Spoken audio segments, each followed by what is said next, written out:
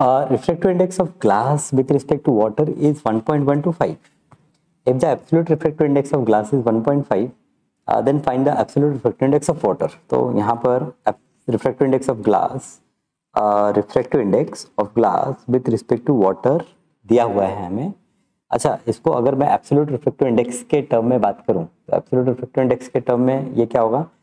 ये reflective index of glass with respect to water ये हो जाएगा absolute reflective index of glass divide by absolute reflective index of water okay so from this uh, i will conclude that 1.125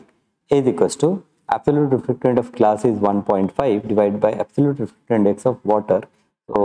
mu g ये लिख लेते हैं from this mu g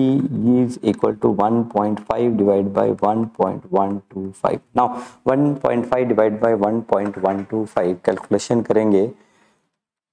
तो यहाँ पर जो आंसर है that answer will be 1.33 okay तो